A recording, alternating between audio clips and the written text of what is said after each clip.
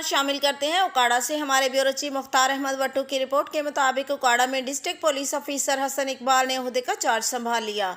यादगार शहदा पर हाजिरी दी डीपीओ ऑफ़िस पहुँचने पर पुलिस के चाको चौबन दस्ते ने सलामी दी। नए तैनात होने वाले डीपीओ ने सबसे पहले यादगार शहदा पर हाजिरी दी, फूलों की चादर चढ़ाई और शहदा के दर्जात की बुलंदी के लिए दुआ की। बाद उन्होंने इंचार्ज ब्रांचेज से मीटिंग करते हुए कहा कि दफातर में आने वाले साइलिन से खुश इखलाक़ी से पेश आएँ।